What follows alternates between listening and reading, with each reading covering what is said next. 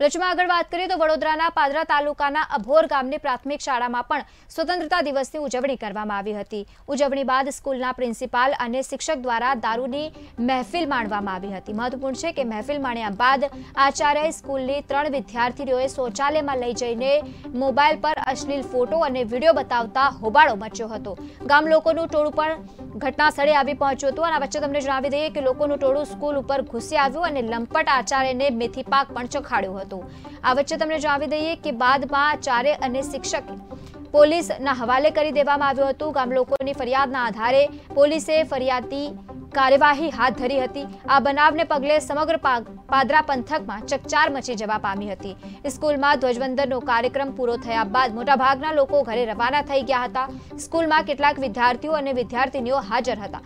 મોટાભાગના લોકો રવાના થઈ ગયા હતા અને ત્યારબાદ સ્કૂલના આચાર્ય મહેન્દ્રભાઈ ચંદુભાઈ જાદવ અને શિક્ષક રમેશભાઈ આશાભાઈ પંચાલે દારૂની મહેફિલ જમાવી હતી.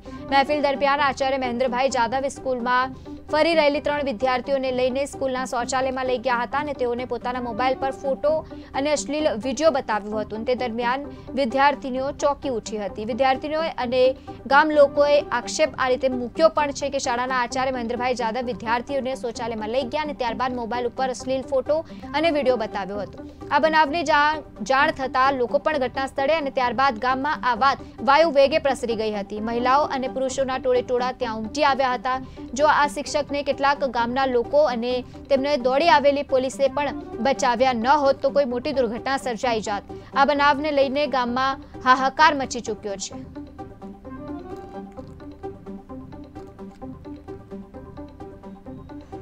ગઈકાલ ચૌદ ઓગસ્ટના રોજ પાદરા તાલુકાના અભોર ગામે પ્રાથમિક શાળાના આચાર્ય મહેન્દ્રભાઈ જાદવ નાઓએ ગામની બાળાઓ વિદ્યાર્થીઓને અશ્લીલ વીડિયો બતાવ્યા, અશ્લીલ વાતો કરી.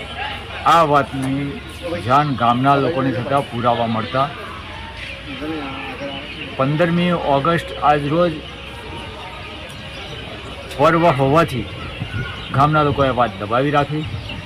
આજ રોજ પંદર ઓગસ્ટનો પર્વ પૂરા થયા બાદ તુરંત ગામના આગેવાનોએ વડુ પોલીસ સ્ટેશનમાં ફરિયાદ નોંધાવા ગયા.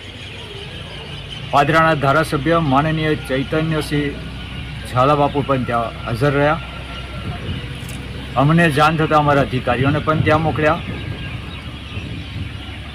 આ મહેન્દ્રભાઈની સામે પોસ્કો હેઠળ તેમજ આઈપીસી કલમો હેઠળ